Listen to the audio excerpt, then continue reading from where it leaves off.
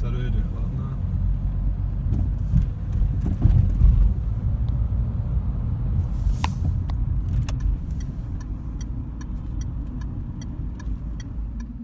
Nemůžete být všade.